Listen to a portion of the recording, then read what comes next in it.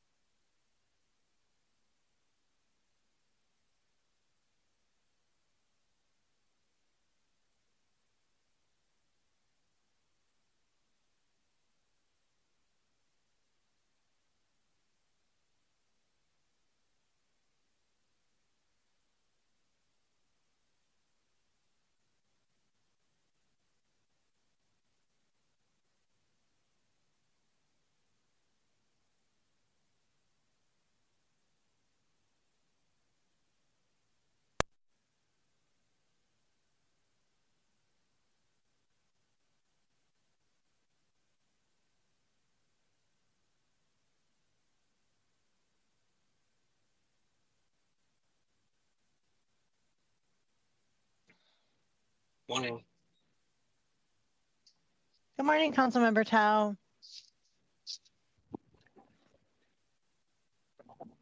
So I am just um, about, about to kick us off here, but I am um, demoting people from presenter to attendee. Just helps me keep an eye on my colleagues, um, the order that their hands go up. Um, so if I know um, Mike, you said that Brad is going to be driving, so I kept him as a presenter. Um, but if anybody else needs trying to present and they cannot, it's because you've been demoted, and I can promote you right back where you started from. So, um, but it just helps me keep an eye on my colleagues. For parks, we should be absolutely fine with that. Okay, cool. Well, we have four in the House. I know we have one excuse absence, and so we're looking pretty good here this morning. Um, so, Holly, if you're ready to go, I don't know if these, do we record these? Um, yes. We, I, as a backup, and then we also have the media people helping us, okay. so they, they're the live as people. well. okay. Um, that sounds great. So we are recording. Uh, so with that, I will call the meeting of the St. Paul City Council Budget uh, Committee 2020 woo to Orders. Is our first um, 2020 official uh, council side of the budget uh, process. And so it's exciting. We're kicking this off with our uh, Parks Department. Today, um, Parks is the only item on our agenda. We are working to get through the um, big general fund departments before we set our levy limit. Um, there are a few smaller um, departments that will be coming in ahead of that as well. But that is uh, our intention. Um, in the past, we've asked uh, for a quick overview and then come back if we have questions. And I think we really will um, stick to that. If there's not reason to come in for a second time, there won't be reason to come in for the second time. So um, hopefully we can hit the high marks. Um, Mr. My is here from the Parks Department. Um, Brad Meyer is here as well as Tom Russell. Um, and I understand that the rest of the team is watching um, online, so they could jump on in a moment's notice if we have questions for them. Um, so that's good stuff. Um, and then uh, just, I know that you've all done this before, but just um, if you could just at the end of your slides, just take a quick peek up. Um, if there are questions, well, I can manage that side of it, but um, you're also welcome to tell us that's coming up in a slide. We do appreciate and acknowledge that we got our materials from you in a timely fashion, um, which helps us prepare for the meeting as well. So thank you so much for that. And unless there are or any other like thoughts, I know um, Ms. Houston is going to wrap us up here today. So I think um, unless Mr. McCarthy has anything, then we'll kick it off here with Mr. Hahm. Welcome and thank you for being here today. Thank you. Um, good morning, council members. Um, Mike Hahm, I am the director of the city's Parks and Recreation Department. Um, very excited to be here today to share our Parks and Recreation operating budget proposal for 2022. Um, this 2022 budget includes um, all of the continued commitments to essential parks and recreation services. Um, as you mentioned, um, Brad Meyer is here uh, driving the PowerPoint. Um, Brad and his team um, and our Parks and Rec management team are the responsible parties for getting all of the um, advanced materials um, ready for you. I am grateful for their help.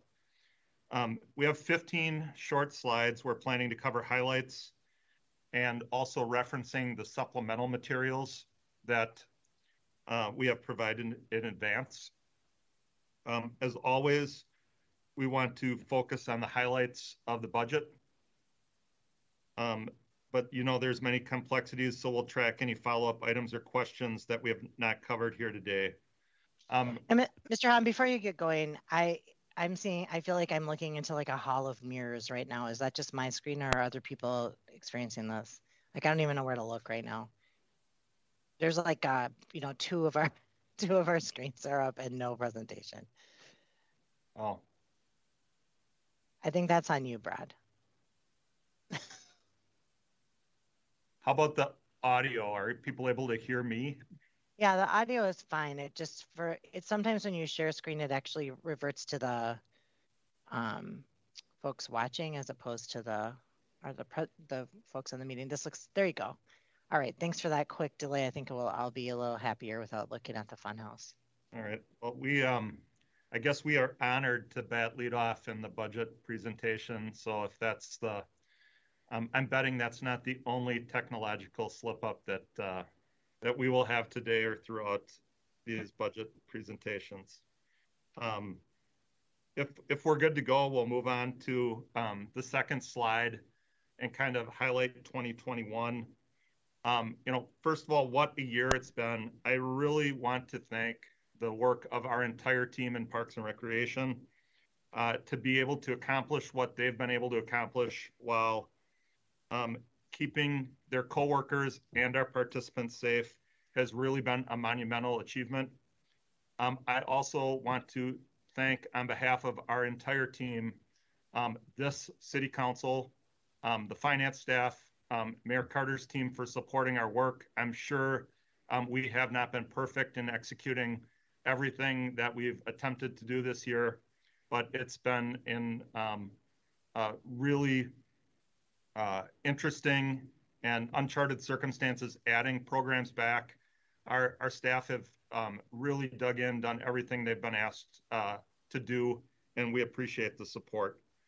Um, I also want to acknowledge on the front end, this will be the first budget in the last 12 years where I haven't been here um, forecasting big financial problems and asking for additional help for Emerald Ash Borer. Um, I'm sure everybody's grateful for that in this budget presentation. I want to thank this council for their support for Emerald Ash Borer and note that um, earlier this year, the council funded a partnership with the St. Paul Port Authority to uh, um, complete our um, Emerald Ash Borer um, response plan um, beginning next year. And we have a funding solution to complete all those works with removals, reforestation, removals by 2024, reforestation by 2027. So that um, um, that will not be a major focus of this presentation. I also want to note that um, in the previous budgets, we spent a lot of time talking about youth employment and Right Track, our flagship for um, for employment in the city, employment programs and youth employment. Um, again, I want to thank the council for their continued support. Um, we have ongoing commitments for that, and we've had previous policy sessions that spoke about financing for Right Track and youth employment. So I'm going to let that information stand with the prior materials. If there's something we haven't covered today or in prior sessions, we will come back and, and catch that later. Um, we're definitely committed to providing ongoing updates on those. Uh, successful Right Track Plus, um, and other things you've heard about in prior briefings. Um, I do want to acknowledge, looking at 2021, the Trust for Public Land again affirmed our ranking as one of the very top parks and rec systems in the country. Um, something that's made us additionally proud this year as they've added additional criteria that focuses on equity. So um, rewarding and acknowledging all the equity work St. Paul has done as a community and this council has supported. Um, we are um, number two of 100 top cities in the country. And um, it was kind of fun this week. uh, a major city that's about our size out west. I think they're in Oregon. I think their name uh, starts with a P. Um, contacted us and wanted to know how we were doing it, how we've been in the top three for every year in the past uh, since we've been in the rankings. So we'll give them a little bit of information. We'll probably withhold the really good stuff to make sure um, our community maintains our top spot. um, want to acknowledge that um, from uh, in August 2021 compared to last year, our aquatics facilities, our seasonal aquatic centers, and our rec centers are back online. We are operating. Um, we are wrapping up a successful summer season. Um, we uh, um, so it's great to wrap up summer. Last year we were not in that position. Um, we've also tried some new things this year that expand our successful mobile programming and um, really have highlighted and focused on pursuing partnerships. Um, one highlight is with the um, the National Football League and the Minnesota Vikings to bring uh, tackle football and football to our youth participants free this year for everyone who's participating in our program. So, wow. Um, a brand new partnership this year, hopefully getting young people outside on those fields. Um, in 2021, we surpassed 2 million meals served through our family meals program. Um, 2 million is a remarkable figure. It's become a vital program for our youth and families community wide. At Como Zoo and Conservatory, we've also reopened along with the rec centers and aquatic centers, and we've developed um, out of necessity online uh, reservation systems that have been successful.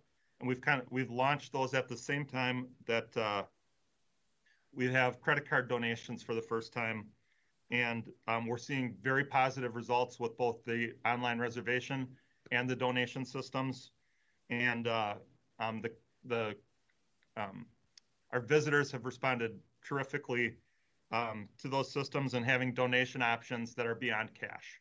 So modernizing those systems, a great uh, COVID uh, outlook or legacy um, contribution. And then uh, another thing to highlight on this slide is we've uh, delivered programming updates along the way, both to the council at policy sessions and in one-on-one sessions on our Awakenings program and our uh, rec check programs as part of Community First Public Safety. Um, we appreciate the feedback um, the support for those programs as we work to um, integrate new public safety initiatives and strategies with our existing recreation programs and our um, terrific recreation staff. Uh, for both RecCheck and Awakenings, we did provide um, specific supplemental materials that are available in the budget packet. And I'm uh, looking at Mr. Meyer. I think those are um, also tagged to this meeting so the public has access to those as well. They, they should be. Um, moving on to slide three. Um, I want to highlight a, a, couple things on our um, design and construction and operations side. Um, our um, splash pads and fountains are um, fully operational right now. We're concluding a successful season with those. And we also were able to uh, mobilize our seasonal maintenance for permits and special events.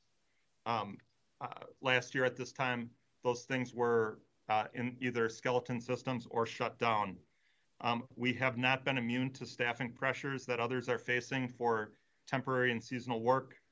Um, but I, it's really a testament to our workforce, our supervisory structure, that we've been able to um, implement those services and um, provide services to the public that they expect in a very short period of time. For our design and construction services and most of our administrative support, we've been um, able to smoothly transition to a remote service delivery um, and virtual experience and uh, work to find ways to uh, that are new to engage with the public. I think a lot of those things have worked excellently and we will look to continue um, post pandemic. But um, we are definitely um, better in person, and we look forward to resumption of in-person services now to supplement what we're able to do virtually. And uh, have a, a, small list of projects that we can note um, where we had ribbon cuttings this year, Midway Peace Park in the center of the city, um, the Robert Piram Regional Trail on the city's west side connecting to Dakota County, um, a partnership project with St. Paul uh, Urban Tennis uh, over on the east side at Eastview Rec Center, and um, working to get the naming of our new parks, our new four new parks at Highland Bridge. Um, so we're um, we're very proud of all of that work as we add uh, to the system and the customer experiences in 2021. Kind of wrapping up our highlights, uh, I, I, do want to say while highlighting these projects, we've been very fortunate to have an engaged workforce and an engaged community throughout um, the pandemic in 2021 that understands the value of our services while also understands that we are making adaptations uh, both in terms of how we provide services and how the community receives services that focuses on keeping the community safe while also providing services. I'm going to pause right there while we pivot to slide four in our org chart. Um, very, very quickly, uh, this is our organizational structure that um, puts the names of our um, senior leaders with each area that they directly are responsible for. Um, you'll note for each division business lines, and um, hopefully there's understanding of the, the vast difference and um, magnitude and reach of all of the various business lines and service lines that, uh, that we support in parks and recreation throughout the community and in working with our um, partner agencies with other city departments. Moving forward, um, slide five is a breakdown of our general fund budget, uh, which totals $41 million. It is a very large number. Um, uh, it is 60% of our operating budget. Um, and this graphic shows um, spending by percentage by division. It piggybacks on the previous org chart by isolating a few, a few items as a percentage of the general fund budget. Um, you'll note our budget continues to evolve as we advance additional investments in services such as community first public safety, um, recreation and forestry uh, with the EAB work uh, previously mentioned. Um, you'll also uh, note as a department, we have the most land and buildings to manage in the entire city um, well over 50%, uh, 17% of the city's land is parkland, and well over 50% of the city's buildings are um, managed by Parks and Recreation. And we invest a significant amount to manage, operate, and provide utilities for those buildings. Uh, slide six carries forward from the previous slide. Um, uh, this is spending breakdown um, within that general fund. A couple of key uh, takeaways as you dig into the details of this slide. Um, very lean budget and focused budget with almost 92% of our general fund spending uh, tied to staffing and direct overhead like utilities, uh, insurance, and rent. So 90, 92% of our general fund um, spending, to repeat that, is, is staff and facilities overhead. Um, that leaves the remaining 8% of general fund contributions to be uh, dispersed for services and materials. Um, so we count on earned revenue to support the majority of those things, which you'll see in slide seven. Uh, this is an overview of our special funds, uh, which comprise the remaining 40% of our operating budget, or 26 million. These are earned revenues from fees, um, grants, and partnerships. Um, this is the, the similar graphic that shows, um, I think is slide five, which shows the spending um, per um, managing division. Um, it, you'll note it's, it's somewhat converse and flipped, a huge chunk for Como Zoo and Conservatory with earned revenue. I'll note there that uh, um, uh, 7% inclusive of that 34% is grants that the zoo and conservatory tracks down. So it's not all, um, all donations or commissions. Um, within the special services pie, 8.5% um, of our uh, special fund is revenue we, we receive from operating the golf courses. And within that um, operations chunk of 24, um, over half of that is funding we get uh, through grants from the state of Minnesota for our regional park system and um, fees that are paid into our system to support abatement and contract services. So overall in this fund, the um, special fund, uh, 52% of that special fund is focused on the services and materials. So what that means is for the supplies and materials we need to um, provide classes or support the park system that we're, we're generally, generally relying on um, fees or grants to purchase those supplies and materials either to um, put uh, to buy the, the the seed we need for the golf courses or the craft supplies we need for rec center classes uh, or all the enrichment activities at the zoo and conservatory the all of those resources flow through this um, through this special fund. Um, before you move on, I do see um, slide six and seven with general fund and special fund breakdown. And one thing that um, Ms. Bernock did for us in the overall um, budget was merge the two, um, really because it for me, and it, it really could just be a me problem, but I don't think so um, it's really hard to wrap my brains around you know why salaries have to come out of general fund and why you know operations are part here and part there. And i think it would be interesting if if it's doable to have to just get a third graph that shows what these two things look like overlaid because it's a 67 million dollar budget. And when you look at a portion of staff um, as part of the full budget as opposed to just the general fund budget. I think it changes the picture a little bit, or the zoo or what have you. So I just would like to make that request if we could get that same thing. And I, as I said, I think we saw um, that long, long desired graphic um, in the city general overall budget from Ms. Bernock. So I, it's it's out there. Um, but that would be really helpful for me because I think it, I this is always very interesting. Um, but just the merging helps me get a bigger picture of the whole budget. Um, and so that's a request, and Ms. Noecker has a hand up. Thanks, Council President. Director Hahm, how aggressively are we pursuing grants? Um, do we have staff allocated to that purpose? Do you have a sense of how much ballpark we pull down from the national and state and other levels? And then I'm, I'm also wondering if being the number two park system in the country helps or hurts us in those in those philanthropic quests. Um, thank you for the question. First, uh, Council President Brendmoen.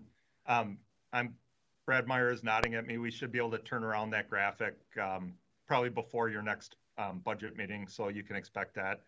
Um, and thank you, Councilmember Noecker, for your question. Um, we we are very aggressive and strategic at pursuing um, uh, grants and partnerships. Uh, the NFL um, grant and partnership that I referenced earlier was an example of that. Um, I, I'd kind of separate those out into two categories. The first are our program grants that we are specifically eligible for, um, like working with um, our relationship with the state of Minnesota for Right Track is an example that we're very aggressive and intentional of dedicating staff time to chase um, to promote our local needs and to chase down those partnerships. Um, we also do um, target very specific um, uh, foundation support and, and things that are less systemic to, to chase those grants. Um, for the most part, we don't have uh, we don't have a dedicated grant writer um, or um, development position that pursues those things. It's it's more uh, your professional staff in each operating division that have to carve out time to do that. Um, so whether it's design and construction, um, Mr. Rodriguez's team and recreation, or Ms. Odegaard's team for special services that are chasing um, those grants. Um, uh, it is something uh, in uh, combination with what um, you might receive from OFS that we can report out on of what our current levels are and um, and maybe show a, a three to five year window or um, graphic of how we've been doing there. Um, it's I would say we're um, we're very strategic about what we apply for, um, uh, only going after those things that are a high level of success. I think for both the public pursuit and private philanthropy, it helps our standing is um, that we do a good job, helps us in our pursuits. Um, all of our funding partners want to be successful, and um, we're able to demonstrate success in our reports out. Um, uh, just because success we're successful doesn't mean we don't have need, and our staff are very um, very skilled at identifying where need is, how it relates to the city's goals, for instance, around equity, and how the funding partnership can help us meet those needs. Are there other questions? And thanks for that. I think, um, Ms. Noecker, the question too um, kind of overlaps into the conversation about ARP and, you know, sometimes having the dedicated resources to get money ultimately pays for itself and then some. So um, I think that we should remember to ask that question question with other departments as well. I'm going to count on you for that. All right. Uh, doesn't look like there's other questions, so we can move on. Thank you.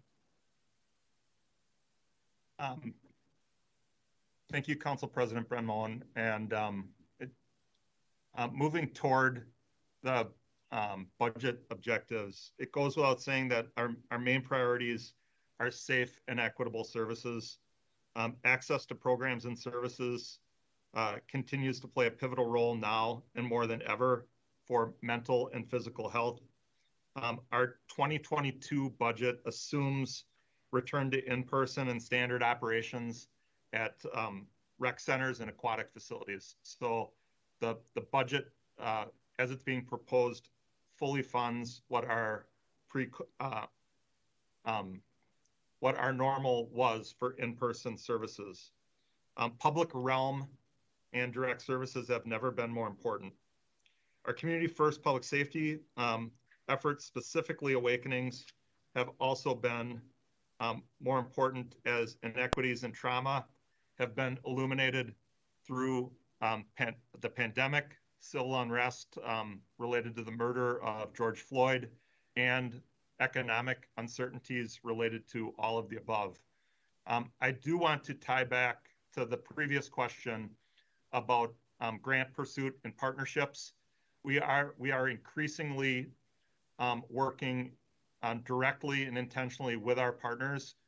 Um, the Downtown Alliance, our great partner at Como Zoo and Conservatory, Como Friends, um, the St. Paul Parks Conservancy, um, our Great River Passage Conservancy, and that would be something in one-on-ones to to come back and talk to council members about perhaps how we're working with those nonprofits to leverage um, those grant support as well. Not all of the grant support runs through the city's budget.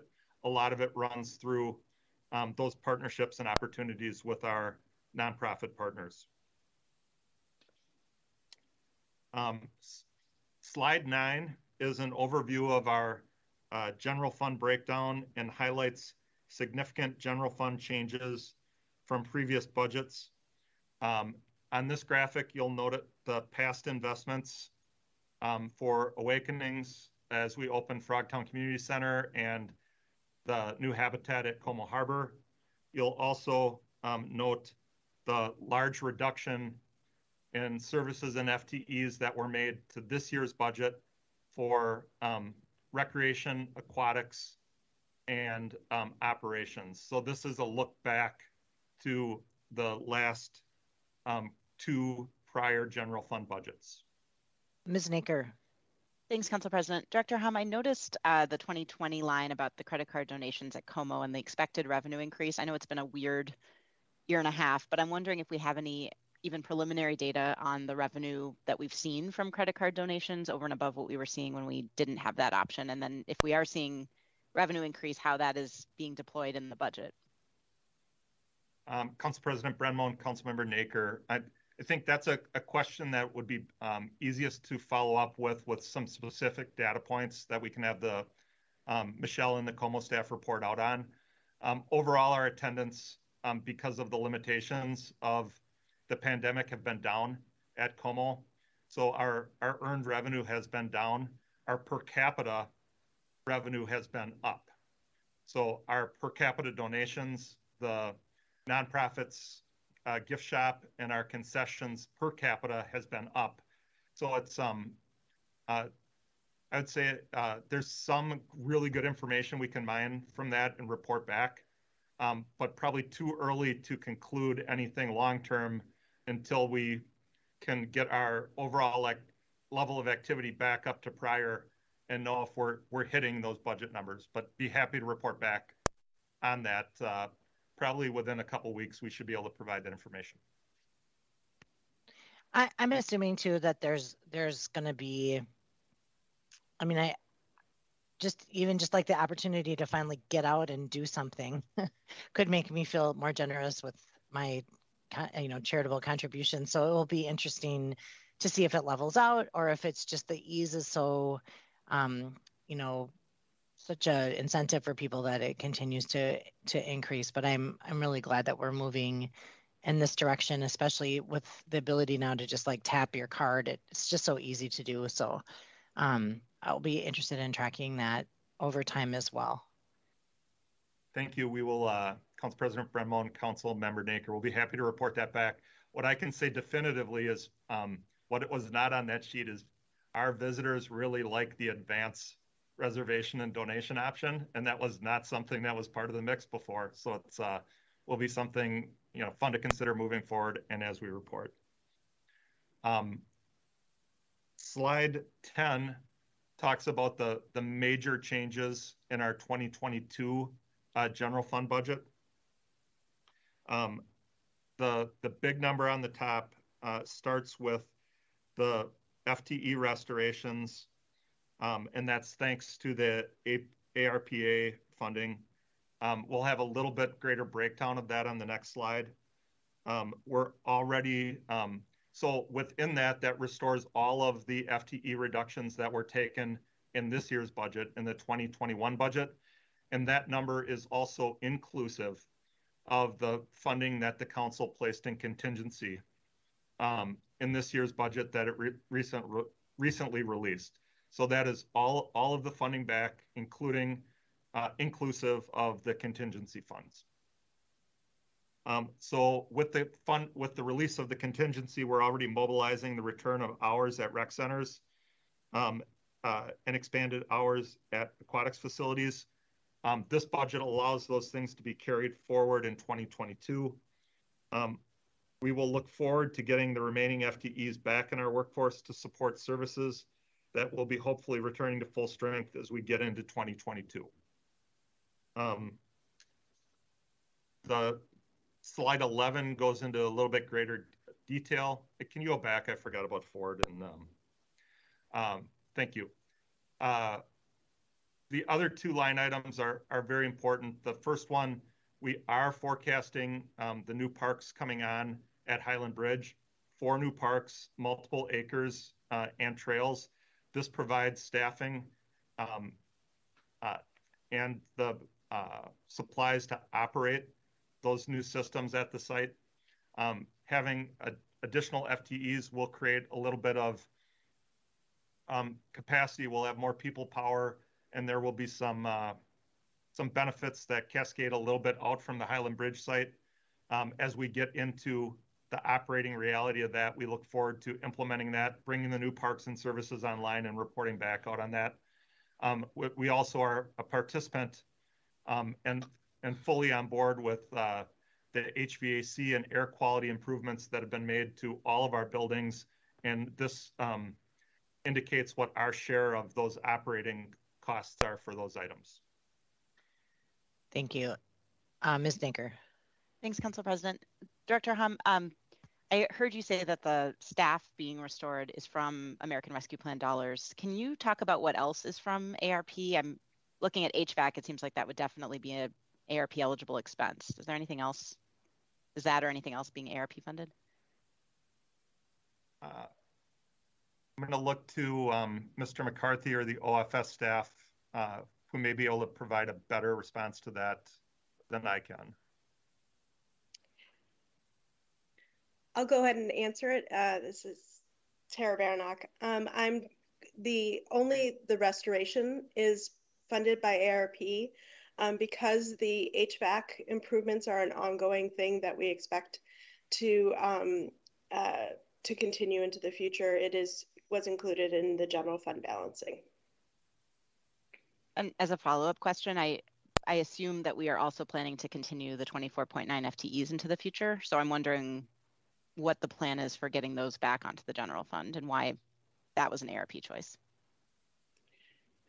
Council President, Council Member Noecker, we're in the process of pulling together the plan to show how um, the uh, the the positions, the restorations would uh, step off of the ARP funding. Um, we anticipate that that plan would include um, some continued ARP funding in the next two years at a lower level, as well as um, property tax, potential property tax increases and um, and or uh, uh, service reductions, departmental budget cuts, and as well as revenue um, recovery after the pandemic.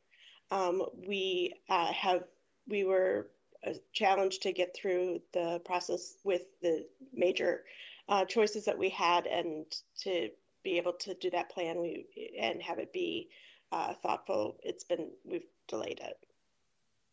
Thanks, Ms. Baranach. I appreciate that, and I'll really look forward to seeing that. I think um, I understand the the need for bridge funding for ARP dollars, and at the same time, it's concerning to see these some of these critical services in parks and libraries being put on ARP, um, not in the general fund. So I, I know we're all aligned about the need to eventually fund those through general fund, but it would be helpful to see how that step back works. You're muted, Mr. Hahm.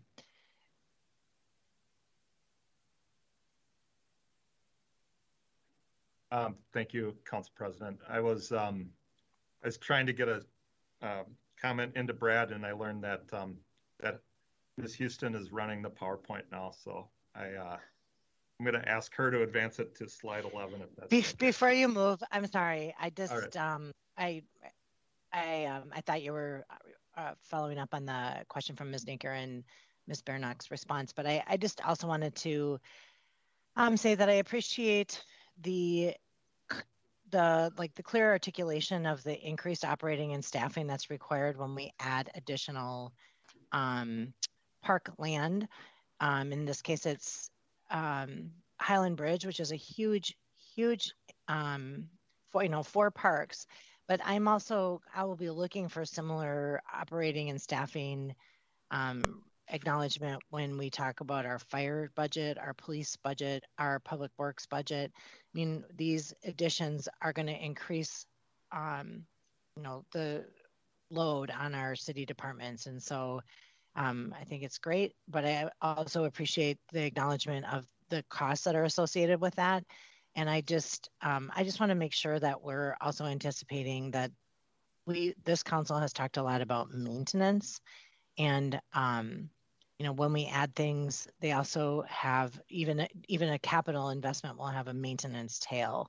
And so recognizing that all of the things that we're adding will have ongoing expenses. And if we don't take care of our um, assets the cost for maintaining them increases over time and so i just i think it's important to um, you know celebrate the things that we're adding but also um, recognize that there's a cost associated with it and we will see increased revenue in in some of these areas, particularly um, Ford and Highland Bridge, but also recognizing the cost of um, staffing and also maintaining those facilities, I think is is important for us to keep on our radar. More of a comment, I think, than a question, but just want to make sure that um, I do appreciate the call out and um, we'll be looking for that in other departments as well. Thanks. Um, thank you, Council President. Um, I was looking forward to um, slide 11. It gets it really gets to your comment, Council President, and the question from Council Member Noecker about uh, some of the detail and um, what where the FTEs are. Um, I, I will say for um, for all of the items that are here, uh, bringing these on in 2022 through A, ARPA restores the FTA, uh, restores the FTE reductions. A lot of um, a lot of acronyms there that were reduced due to COVID. Um, it brings um, 25 FTEs back to the system, and the importance to us of bringing the FTEs back, it allows um, Ms. Odegaard, Mr. Hagel, Mr. Rodriguez to go hire um, employees and start that process and start the season with the understanding we're bringing employees back on. So I think that is critical. Um, our um, our leaders have listened to um, uh, Mayor Carter's call and this council's call to um, use the adjustments that we've made um, from COVID to to also have learnings about um, what um, what we could do differently operating. I think um, as we go through um, this season of the rec center operations, the adjustments that we've made for aquatics, that we've we've had some learnings um, part of the service shifts that we've had through COVID, and I I really do appreciate uh, the feedback that our leaders have received from this council when they've asked about um, what we could do with um, aquatic schedules, rec hours, um, service adjustments. So as we add things back, we'll be looking for the same type of inputs. Um, what uh, what what these investments allow us to do is enter 2022 knowing we have resources and staffing available to restore those services. I don't think it's our plan to do things identically. We want to apply uh, those COVID learnings, but we um, we want to uh, expand and restore those services. Um, Ms. Noecker. Thanks, Council President. And Director Hahm, I'm I'm so grateful that we that your department is prioritizing returning those services and those FTEs. I, I know all of us the cuts last year were painful and we've talked a lot about how in this budget we want to look at what's coming back and make sure that we're getting back to, to where we were or beyond so i appreciate that it would be really helpful to know um, the whatever changes you you just referenced exactly what might look different and to what extent we're back where we were in 2020 versus something else happening. Um, and it would also I, would appreciate knowing and this is sort of across the board rec center hours programming in general. I know cuts have been made before 2020 in 2019 and 18 and before that.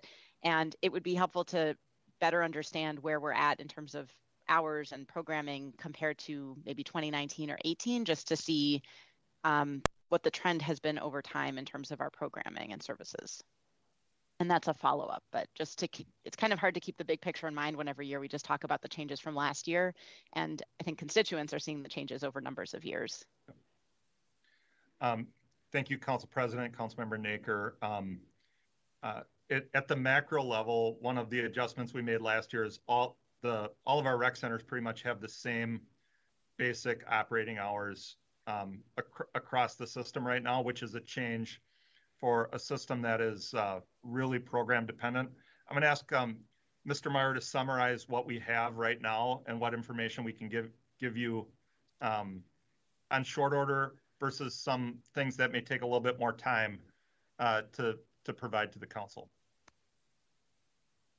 Uh, thank you, Mike. Thank you, Council President Brendmoen. Uh, Councilmember Noecker, so we um, we did put together kind of a breakdown uh, for the the use of ARPA funds for 2021 um, and how we're restoring services and, and where that kind of lands in both recreation and aquatics for you that we can share um, right away and it embedded in there is how that will translate into 2022 uh, for both aquatics as well as uh, recreation. And, and, Andy Rodriguez and Susie Odegaard and their teams have done a really good job of starting to mobilize planning for um, what the restoration will look like programmatically. Um, and at a minimum, the hours restoration within recreation um, will be restored, and then Great Water Park uh, the summer hours will, will be added back. And then within their programming model, we'll also um, start to dig into kind of uh, the what what the service model will look like and where the hours will land, um, because there there is some nuance there. But um, we can share the breakdown for 2021 right after this meeting, and then we can kind of dig into the rest um, as as those plans flesh out over the next um, weeks and, and months.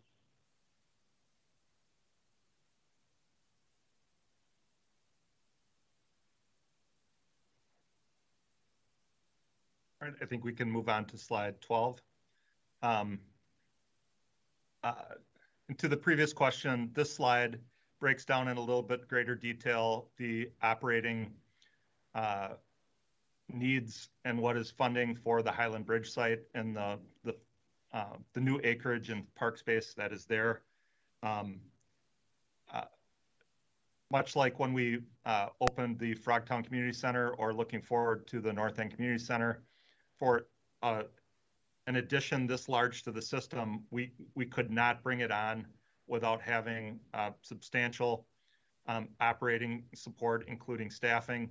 This represents that and uh, uh, ensures that both we can bring these new services into the community and into the system without taking away from services that are currently be being provided someplace else. And um, I would again offer that while it's very difficult to define, there is also some economies of scale and some assistance that the, the rest of the system will get um, when we are adding uh, three FTEs into our overall workforce. So this is um, this is a needed and an investment that we are very grateful for as we expand our system and services uh, that will benefit the entire um, entire system. Uh, slide 13 uh, talks about deferred maintenance. Um, we will be back. Um, Parks and Recreation will be back in November to talk capital improvement budgets as part of the, the larger discussion at that time, but it wouldn't be a proper Parks and Recreation budget presentation without a few slides on deferred maintenance. I do want to pause here and reference um, uh, the council did ask for some reflection on um, the capital improvement budget as part of this initial conversation. Um, the um, the new financing strategy for major capital is fully funding the North End Community Center as part of this um, budget, and we are fully supportive and grateful for that. We are continuing to pursue um, grants and funding partnerships that would uh, reduce the city's obligation for that project. But our um, Parks and Recreation's number one capital priority is funded in this budget because of that addition and change. So uh, that is definitely worth noting. Um, on this slide, we will uh, note investment in our annual programs over the last couple years and um, how it's uh, how it's moved around, and it translates to um, incremental increases to our facility condition index, which you're going to see on the next page, and our deferred maintenance backlog. Um, uh, we've, as we look at the uh, slide on uh, the information on slide 14, um, you'll see that play out in this graphic that you should be familiar with after seeing the last five years or so. Um, we've forecasted a really large unfunded liability. I think the investments in the annual programs and deferred maintenance has slowed that climb, but we're um, we we are still increasing. We still have uh, work to do here, and we still have a um, a gap where we're not um, optimizing the service life of our um, assets and to um, have those assets in a condition that the public can enjoy them. We have a, a significant amount of investment, especially as we get out into uh, years 5, 10, 15 years from now. Um, Ms. Noecker. Thanks, Council President. And Director Hahm, I really appreciate that you included this slide um, these slides as part of the presentation. And I'm I'm very, very concerned about the deferred maintenance. And it seems like all of the indicators budget wise are going in the wrong direction when it comes to taking care of this. It looks like from your previous slide, CIB annual maintenance is going down. Um, it looked like when we saw the presentation from the mayor's office last week, the 640,000 per year from CIB was budgeted in 22, but then not budgeted for the rest 23 and on. Um, and then I, you know, the mayor hasn't proposed, I don't believe, any ARP funding to be used for any kind of deferred maintenance, um, which to me seems like the perfect use of, of one-time dollars to the extent that it's eligible under ARP. So I, guess I'm just wondering from your perspective, is this a problem? How do, what, what, what do we need to do or what are we doing that we're moving in the right direction? Um, Council President Brendmoen, Councilmember Noecker, I, uh, it, it would be disingenuous to look at this chart and not say we're forecasting obligations or a problem moving forward. Um, I, I will say for the, the present, and it would always be great to have more resources. Um, I will say within this budget and the recent budgets, we have slowed the growth um, from where we would be if we invested um, nothing on top of, uh, nothing in addition to what we had done. So we are doing that. I will also say that um, while there's no specific investment targeted yet, that the the mayor's budget and initiatives around jobs and infrastructure does give a, a really large lane where we can work to um, have jobs programs that also can benefit the deferred maintenance schedule. Um, Director Kershaw, uh, Public Works Director Sean Kershaw, and I are, are talking with our staff and our youth employment staff about how we can potentially access proposed programs and access those resources for painting programs, for potentially paving programs, and um, and uh, programs around land landscape apprenticeships, which would um, maintain our green infrastructure. So, um, while there's, from my perspective, while there's nothing specifically identified um, right right now on top of the annual programs we've identified. There is a really strong opportunity for those proposals to be heard and funded. And if, if we can be successful to put together um, a apprentice painting program if, or a um, an apprentice mason, mason program, working with our partners in the trades, those things would would get to jobs, but would also get to this deferred maintenance backlog.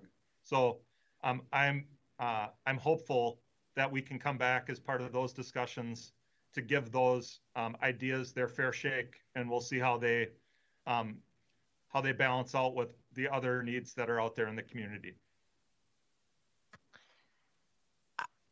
I appreciate that, Mr. Hahm, but is the um, deferred maintenance is the bulk of it painting and masonry, or is it like just building condition, roofs, and I mean, it's it doesn't seem like it's nibbling around the edges problems. It's like. Um, Council President Brendmoen and Councilmember Noecker, that's a that's a fair question. It's um uh, on this chart, it's it's everything.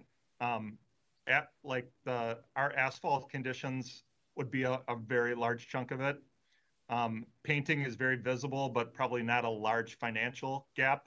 But um, uh, from my perspective as a major property manager, if if if we don't tuck point and paint our buildings, we um, the the larger expensive things that follow come up too. So I, I think it all contributes. Um, I I really look forward right. to a robust I, discussion I, around those things.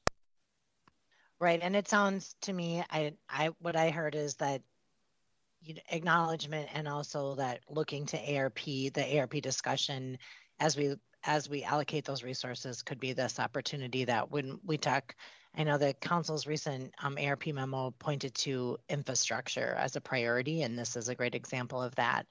Um, you know because we i mean just when you speak of asphalt i know just last week i uh, a section in ward four um, between lexington and hamlin was at long last completed and the, the asphalt was like literally dangerous before it was completed. And what I've noticed is since um, it looks like it's still closed, but doesn't seem like anyone quite cares.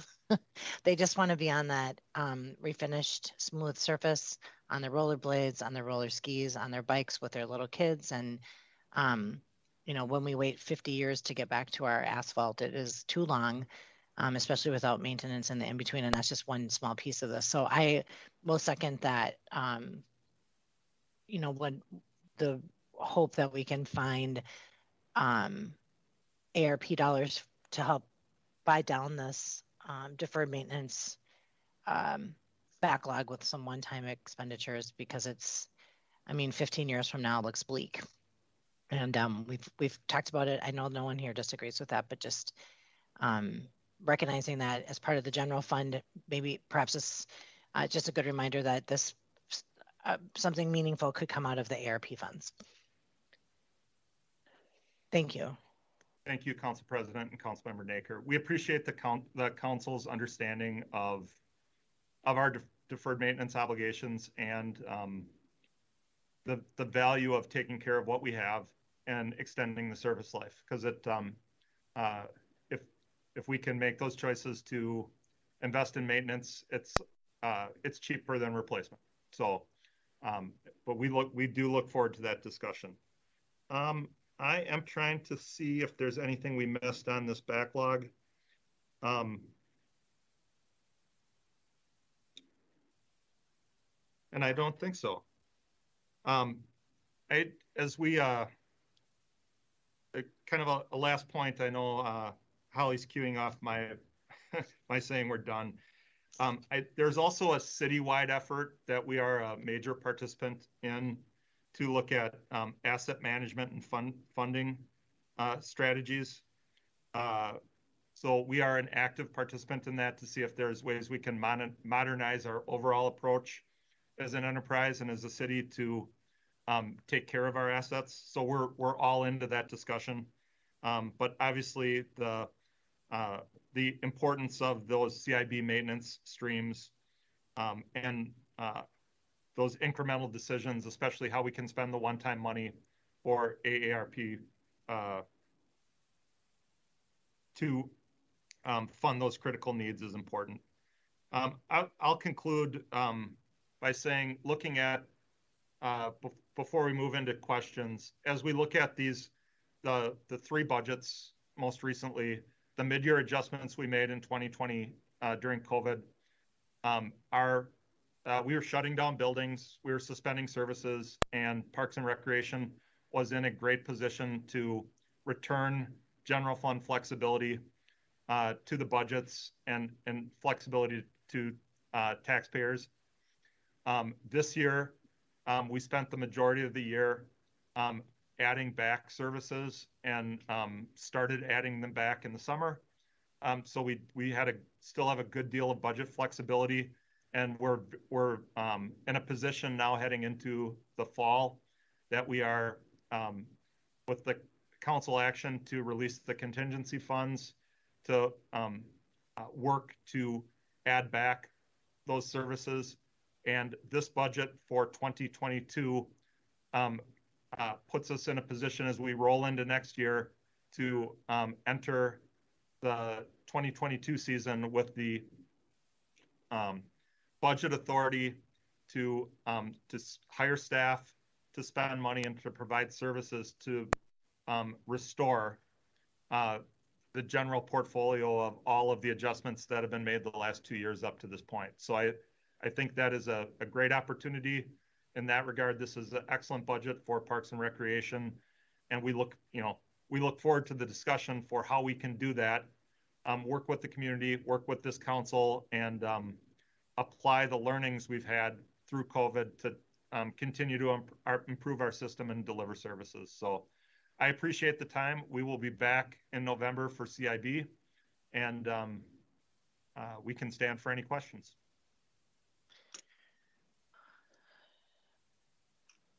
Great. Uh, Mr. Tolbert. Yeah, Mr. Hamid, um, this is more of a comment than a question, but I, I just want to thank you for the um, for the budget and the and the good outlook. I know many of my constituents will be very happy with the restoration of hours and in the rec centers as well as the pool. Um, I know you guys made some tough choices last year, and a lot of it was on the fly as as circumstances changed, and you guys continue to adapt and and provide services. And I continue to say I haven't seen our parks use more than they have been over the last year and a half, two years. And um, if if we we're lucky to have the second or third ranking, but I think just the the use of it shows how much we need to continue to invest in our parks. It's it's great to see parking lots full, trails full, Um, rec center's full, hockey rink's full, um, water aerobics classes full. Um, so thank you guys for the heroic work that you guys have done over the last year and a half of continuing to adapt, but still providing the services and the space for people to let out um, anxiety, stress, whatever it needs to be, and just get some outdoor time. Um, so thank you very much. I appreciate it. Thank you. Thanks, Mr. Tolbert. Um, I have Ms. Noecker and then Ms. Yang. Thanks, Council President. And I'd like to, to echo Councilmember Tolbert's thanks, Director Hahm. Um, I also really appreciate how you have uh, how you responded to our questions, got us all all that we asked for in advance, and I, am you know the concise nature of this PowerPoint presentation that covers everything but still gives us time for discussion is really helpful. So thank you for doing that. Um, two very, very specific questions. I'm just always trying to think about how this big picture budget actually relates to what we see on the ground in the city. Um, and to that point, two questions. One, um, I am concerned about that decrease in annual maintenance funding in CIB that you mentioned, and I assume that that I, I'm not sure why the decision was made to cut $700,000 from that budget, but I'm wondering if you can talk about about the reasoning for that to the extent that you know it and the impact that you think that will have. I'm always hearing from constituents about um, a particular area of a park that needs maintenance, that needs repair, that needs you know some extra bricks being replaced, et cetera. So I'm, I'm very sensitive to any pr- proposed decreases in that, especially knowing how much construction costs have gone up.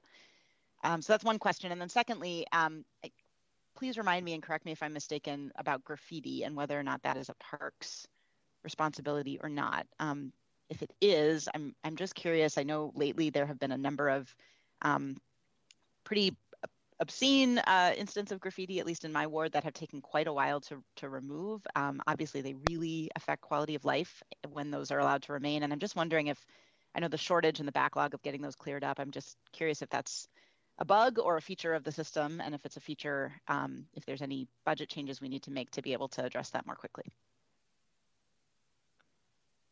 Uh, Council President Brendmoen, Councilmember Noecker, starting with the second question on the graffiti. Um, the, the parks the Parks and Recreation um, trades crew is the city's abatement crew. We have a, um, a dedicated group of, uh, I think it's two painters that respond to the, the graffiti on, on public and private property. Um, I'm not aware if we have a, a, staff shortage or a work order shortage there right now, but what I, what I can do is follow up uh, within the week to find out what the what the backlog is and if we have um, any shortages there.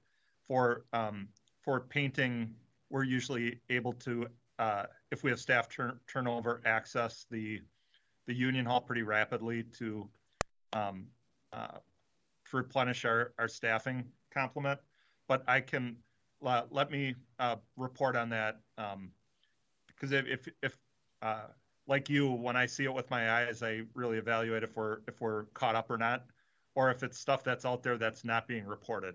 Um, but uh, I can report on that. Um, and in this case, I know it was reported from my own cell phone, so okay. I can attest to that. Before you move on, though, just can on that process, though, it gets reported through the DSI. Um, Council President Brendmoen and council members, prim- the primary intake for that is through DSI. Um, if um, for instance, from time to time, one of you will shoot me a note that says there's graffiti someplace. Our staff enter that into the same system as the DSI staff.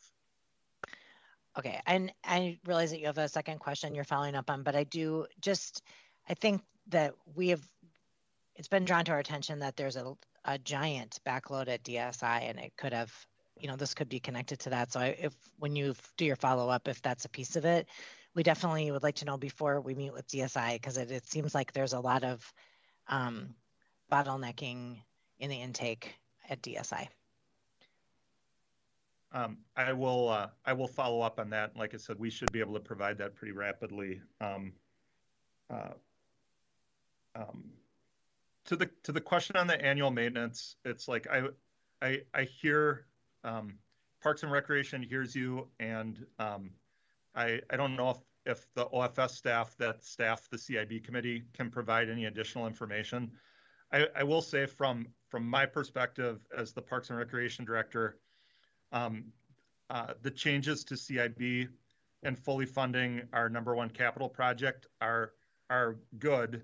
And when we are successful in tracking down um, some of the grant pursuits that we are for the community center project, um, uh, that that should allow more flexibility within the capital budget. And I know we will be advocating for that to be going into our other priorities, but it's um, it's it's difficult because there is a finite resource there, and um, uh, I we can only spend it in one place. In this case, it's being allocated to the capital project, and as we get flexibility in the capital project, I'm hopeful that we can free up some additional funds. But I will. Uh, um, I will. I see Mr. McCarthy's on. I'll ask him for some help on the capital budget side of things.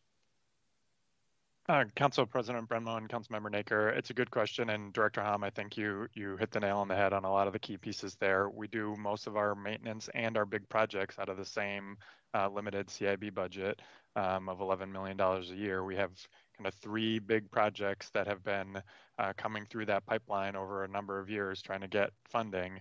Uh, this year, uh, we were able to take advantage of the record low interest rates to advance all three of those big projects, which clears them out um, and allows you know future opportunities to then um, not have those three big projects eating up the whole uh, annual budget. So we were able to fund this cycle the North End Community Center, Fire Station 7, and the Hamline Midway Library. Um, as Director Hahm noted, we're aggressively pursuing outside sources for the community center as well as the fire station. Um, should any of those come through, and we're optimistic that uh, that they would, um, it just frees up additional CIB resources for other needs like deferred maintenance. And I think we've all heard loud and clear, and, and finance and parks have both been uh, pushing that message for for the last several years that we need to be investing more in, in maintenance. And so, um, you know, as we are able to free up our own sources with outside money, then that's a great opportunity to be able to sink more money into maintenance. Um, and again, I think you know the long-term strategy here of taking advantage of those low interest rates to um, to to go after these three big projects and get them off of the list um, helps us longer term to to be able to be more strategic with maintenance.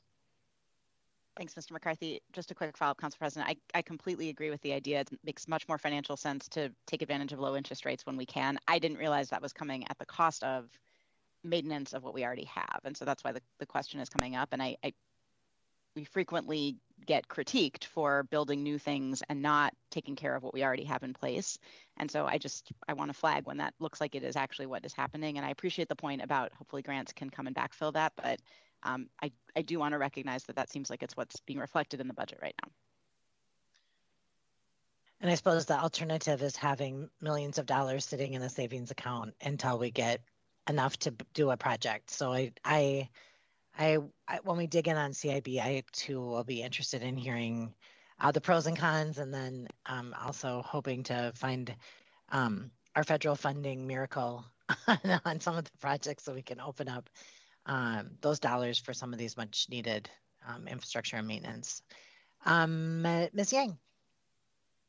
Thank you. I wanted to say thanks, uh, Director Hammond, to the staff for the budget presentation. It was really helpful to see um, we're we're studying long term, and and uh, I wanted to reaffirm my support for using our ARP dollars toward Parks and Rec. And so I just want to urge you all to continue sharing with us, um, especially since uh, you're working directly with staff who are doing the groundwork in our city and know, um, you know, what type of barriers are out there as well and what they need in order to be able to do their job well.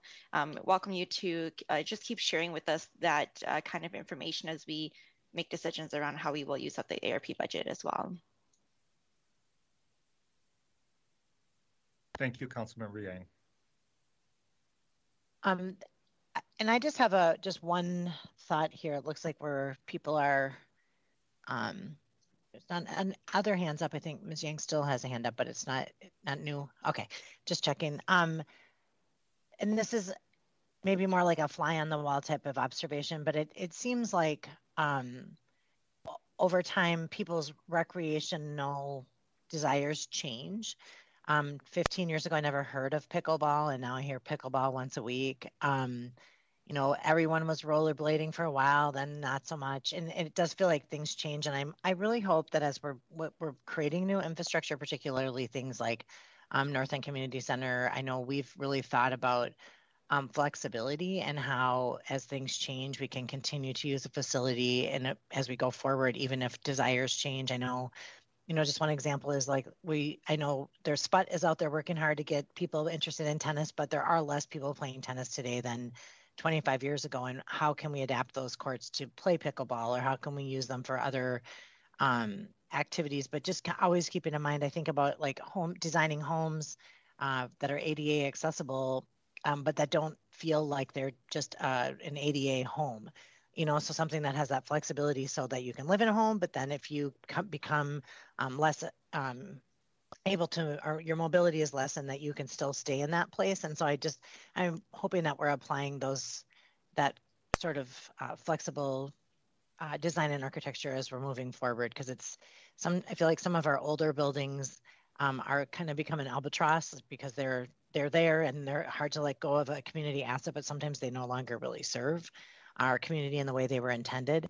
Um, one example that's just been on my mind lately is, um, you know, we've we've created some vault bathrooms, some fancy bathrooms around the city that um, routinely are like horribly vandalized, um, costly to repair, closed down while we repair. Um, sometimes people are, um, you know, building fires in them, staying in them, throwing things down into the toilet and ruining them. And, um, you know, this year with COVID or over last year, we used a lot more porta potties. And so we were able to have them in more locations. They're not as nice and fancy, but on the other hand, they provide bathrooms in spaces. I know there were some parks um, when my kids were little that I was like, I would do anything for a bathroom here. Um, and now there are porta potties. So, like, do we want to keep building big fancy bathrooms is maybe porta potties in the season where people are using the parks the most good enough? Um, and maybe it is, maybe it isn't, but I'm, I'm hoping that we're having those conversations because I feel like um, we like lessons learned from COVID and lessons learned from our past projects are hopefully adding up to um, um, future projects that are more sustainable and flexible in, in nature. Um, okay, so I'm looking to see if there's other questions. All right. Um, okay, well, it looks like we are at that, as Ms. Noecker was saying, the succinct and gave us a time to answer uh, questions here at the end is great. And we'll expect some follow-up, I know, along the way. Um, but, um, and then I think determine if we need to come back or not. So thank you, um, Mr. Hahm, your team, uh, for this presentation and, and echoing my colleagues, just thank you uh, for your adaptability, your flexibility, your creativity. Um, I, I'm sorry, I would be remiss if I didn't also say um, probably one of the most compelling meetings I've had in the past three months was a meeting with Gwen Peterson um, and her Awakenings team. And I know that that project has been something um, that was challenging to launch in COVID. Um, but we met with her extraordinary team who talked about the work that they're doing um, with eight to 13 year olds. And it was just an incredible conversation. And I feel so fortunate that we have a team of youth.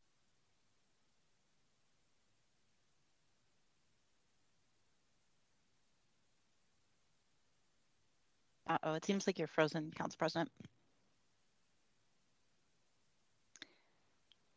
Hate when that happens when you're on a roll in the closing.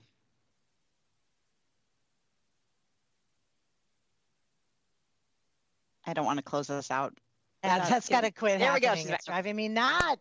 Um, okay. But just, just I just wanted to say that the it was it was wonderful to hear from them and, and understand better what's going on with Awakenings now that it's had some chance to um, mature and I'm really looking forward to going to one of the graduation ceremonies tomorrow um, at McDonough. But I just, I really appreciate the time. I know um, when you're a youth outreach worker, the probably the last thing you want to do is sit on a Zoom call with a council member.